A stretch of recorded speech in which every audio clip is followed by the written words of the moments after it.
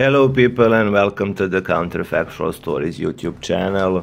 Today we will talk about one very interesting topic, a little bit political, but it's very related to chess.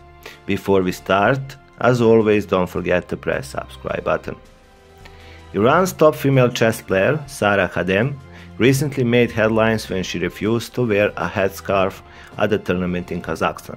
Khadem, who is ranked 19 in the world among female chess players, had previously worn the headscarf while competing abroad as it's compulsory for women under Iranian law.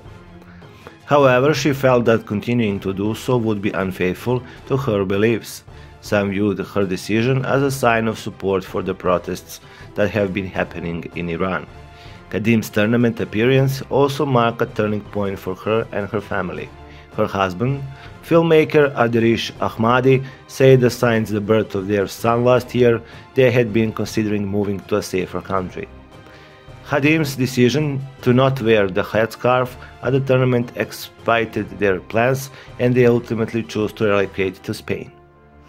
The couple has emphasized that their move was not politically motivated and that they did not use it as a way to seek asylum. Asylum.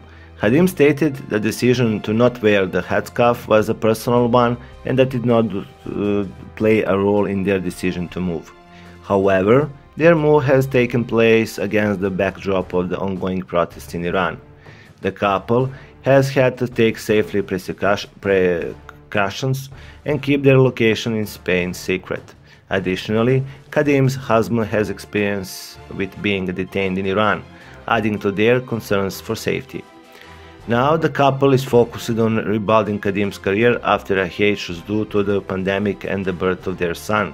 They hope to eventually return to Iran and represent the country in the international tournaments.